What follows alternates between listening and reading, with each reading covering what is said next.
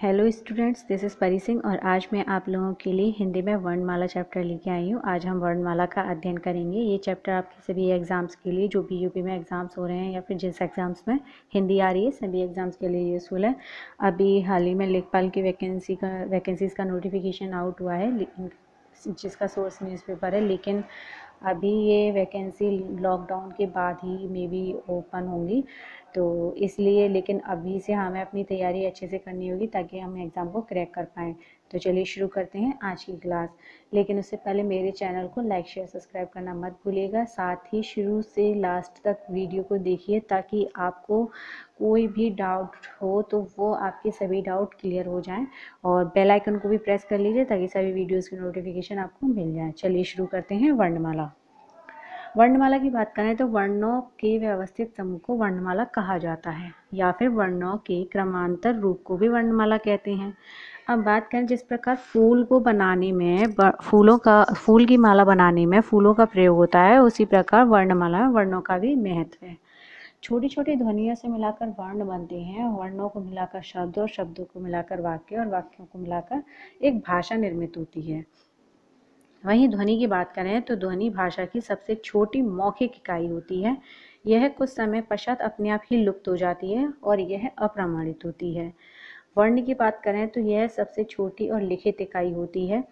यह प्रमाणिक इकाई होती है और वर्णों का खंडन नहीं किया जा सकता है। शब्द की बात करें तो वर्णों के सार्थक शब्द सॉरी वर्णों के वर्णों के सार्थक और उचित मेल को शब्द कहते हैं। वहीं भाषा की सबसे छोटी और अर्थवान इकाई शब्द है। ये क्वेश्चन रिपीट हुआ है। ये क्वेश्चन सॉरी आया है। भाषा की सबसे छोटी और अर्थवान इकाई कौन सी है? जो कि शब्द है। आगे देखते हैं वाक्य। ये सारी चीज़ें मैंने इसमें स्टूडेंट्स मेंशन नहीं की हुई है क्योंकि ये मेंशन मुझे नहीं लगता था कि इसको मेंशन करना चाहिए, इसलिए मैं इसको बोल दे रही हूँ। आप पेन और पेपर पेन और कॉपी लेके बैठिए ताकि आप लोग इसको नोट डाउन कर सकें। आप लोग इसको नोट डाउन करिए, अच्छे से देखिए ताकि आप लोग इसका जो भी जो भी इस चैप्टर से आपके क्वेश्चन पुटअप होंगे, आप लोग उनका उनको सॉल्व कर पाएँ। आगे देखते हैं वाक्य। सार्थक शब्दों का मेल ही वाक्य कहलाता है। बहुत सारे वाक्य मिलकर भाषा को निर्मित करते हैं और भाषा को व्यक्त करने के वैसे तो तीन भेद होते हैं, लेकिन मुख्य रूप से दो ही भेद माने जाते हैं। तीन तो मौखिक, लिखित और सांकेतिक होते हैं, लेकिन जो दो मुख्य रूप से माने जाते हैं वो मौखिक और लिखित है। आगे देखते हैं। वर्ण वह छोटी से छोटी ध्वनि है जिसके टुकड़े या खंड नहीं किए जा सकते हैं। ये मैं बता चुकी हूँ। हिंदी भाषा को लिखने के लिए देवनागरी लिपि का प्रयोग किया जाता है, जिसका विकास ब्राह्मी लिपि से हुआ है। तो ये तो रही वर्णमाला की बात। आगे देखते हैं। स्वर और व्यंजन। वर्णों को तीन पार्ट्स में डिवाइड किया गया है, स्वर, व्यंजन और आयोगवा। स्वर ग्यारह होते हैं व्यंजन थर्टी नाइन और आयोगवा अनुनासिक व्यंजन। आगे देखते हैं। जो स्वर हैं, उनको फोर पार्ट्स में डिवाइड किया गया डिवाइड किया गया है। फ़र्स्ट है हस्य स्वर, जो कि चार होते हैं। दीर्घ स्वर, जो कि तीन होते हैं। संयुक्त स्वर, चार होते हैं और प्लुत स्वर। आज की क्लास में हम स्वरों की चर्चा करेंगे, व्यंजनों की चर्चा हम अगली, अपनी अगली क्लास के सेकंड पार्ट में करेंगे और उसके साथ ही हम आयोगा की चर्चा करेंगे। तो चलिए शुरू करते हैं। स्वर। स्वर, इसका उच्चारण बिना किसी की सहायता के स्वतंत्रता पूर्वक होता है। मूल स्वर चार और कुल स्वर ग्यारह होते हैं। जो मूल स्वर चार हैं, वो आ ई, उ और री हैं और बाकी के जो बचे हुए स्वर हैं, वो बड़ा आ बड़ी ई, बड़ा ऊ ए, बड़े ए छोटा ओ और बड़ा ऊ है। यानी इलेवन जो स्वर हैं, उनमें से फोर जो मूल स्वर हैं, ये हैं आ ई, उ, ए और जो बाकी के जो स्वर हैं, सेवन जो बचे हुए हैं, वो बाकी के सेवन ये हैं। स्टूडेंट्स, मूल स्वर से एक क्वेश्चन आ चुका है। या जो स्वर में चार मूल स्वरों की संख्या कौन कौन सी है? चार मूल स्वर कौन कौन से हैं, इस तरीके से क्वेश्चन आया हुआ है। तो आप इस क्वेश्चन को ध्यान में रखिए। आगे देखते हैं, हस्य स्वर। ऐसे वर्ण जिनको बोलने में बहुत कम समय लगता है, जैसे आ, ई, उ और री। दीर्घ स्वर की बात करें, इन वर्णों को बोलने में हस्त स्वर से भी ज़्यादा समय लगता है। इनकी संख्या मूल है आ, बड़ा आ, बड़ी ई और बड़ा ऊ संयुक्त स्वर दो स्वरों के वर्णों से, दो स्वर वर्णों के मिलने से बनता है, जैसे ए ए, ओ और ओ। वहीं आ और छोटी, छोटा आ छोटी ई और बड़ा और बड़ी ई को मिला के ए बनता है। वहीं छोटा प्लस छोटी ए या बड़ा बड़ी को मिला के बड़ा ई बनता है। वहीं आ और बड़ा को मिला के या फिर ऊ और ऊ को मिला के जो आ और ऊ को बड़ा आ और बड़ू को मिला के छोटा ओ बनता है। वहीं आ और आ और ओ और ओ को मिला के बड़ा ओ बनता है। प्लूत स्वर की बात करती हैं। इनको बोलने में श्वास लंबी खिंच जाए। या बोलने में दीर्घ स्वर से भी अधिक समय लगे तो इन्हें संबोधन या ज़ोर से बुलाने में प्रयोग होता है। जैसे ओम। जब हम ओम को बोलते हैं तो आप लास्ट में देखेंगे, ओम मैंने बोला तो जो माँ है, वो थोड़ा सा लंबा चला जाता है, या मैंने राम बोला तो हमेशा राम जो बोलेंगे, जैसे रा तो रा को बोलने में थोड़ा स्वर जो है, वो लंबा चला जाता है तो वो प्लुत स्वर होते हैं।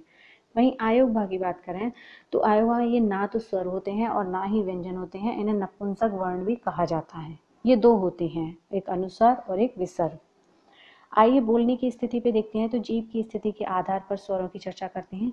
इसमें अग्र स्वर की बात करेंगे।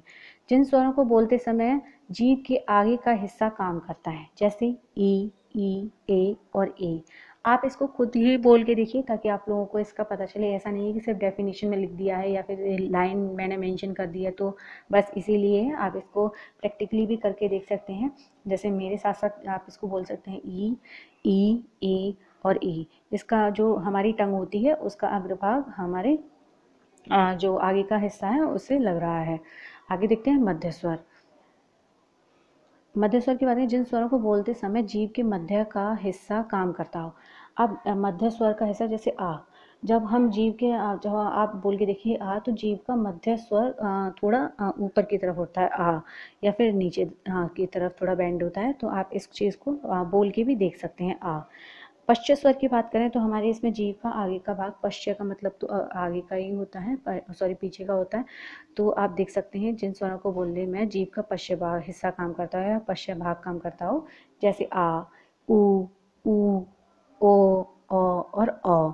इनको देख आप आ, इनको बोल के भी आ, आप इन्हें प्रैक्टिकली भी देख सकते हैं। आगे देखते हैं मुँह के खुलने के आधार पर।